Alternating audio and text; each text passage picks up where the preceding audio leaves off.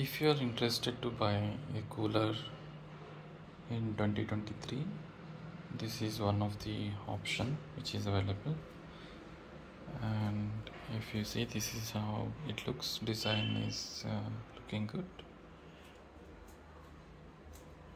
And there is a opening here where we need to pour in water and ice packs you see there are four ice packs which will come by default. You need to fill in those keep it in the freezer for four hours and then put them here so that you get a nice breeze. Uh, if you see like I have kept two of them here and two are in the freezer. Um, and you can just close it like this.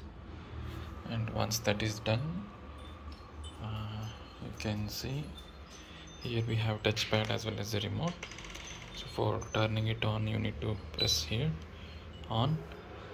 Then the airflow starts blowing. And you can change the speed uh, there are three speed modes. And if you want to get the cold air with the evaporation you need to enable this.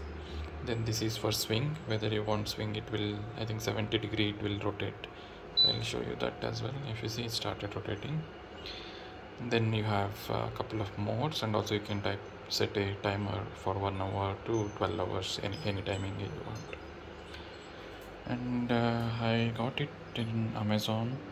It's been couple of days since I got it and overall product looks uh, good.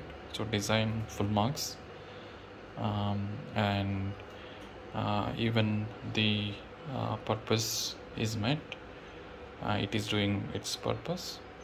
However i feel it's a bit on the expensive side. Uh, i got it for around 12300 uh, which is little expensive but uh, yeah i think uh, looking at the design probably it is worth it.